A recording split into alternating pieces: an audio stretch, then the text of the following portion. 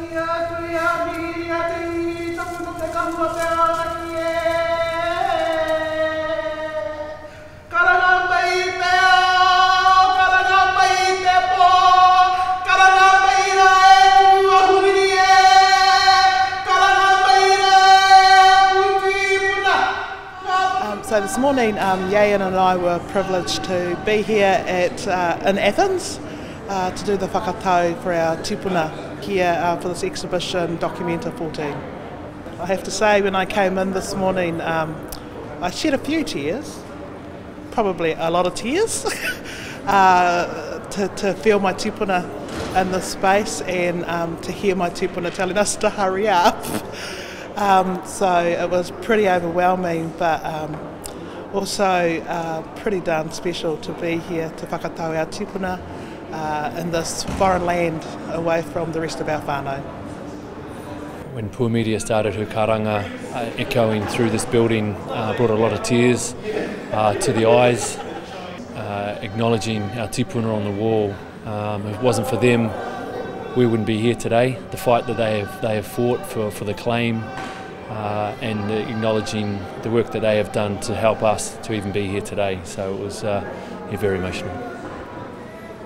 The work really required uh, the presence of Ngāi Tūāhuriri here, and they've both uh, come through and uh, represented our people with a huge amount of dignity and honour and uh, mana uh, of course, that they carry between them. And so it's a huge, huge honour for me to have them here. Today we did a whakatau for his, for his work.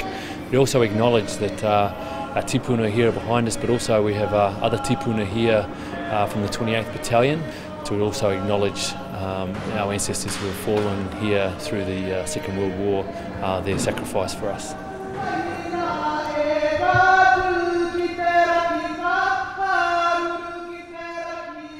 The work is here for the purpose of manaakitanga, and uh, it's kind of, but not exactly, acting as ngā ngutu um, as well for uh, people to walk beneath to enter into the gallery space.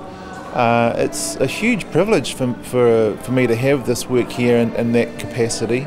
It's, it's really it's hugely important that the tikanga uh, and the kaupapa for that have been followed through by EA and, and um, Miria um, to ground our ancestors here and to um, let them know that it's okay here and uh, provide a, a space for them to, to, to exist here. I just know that they are safe up on the wall. I felt like I feel like everything's been is done and done correctly. And for that I'm I'm super happy. Very proud. Very honoured.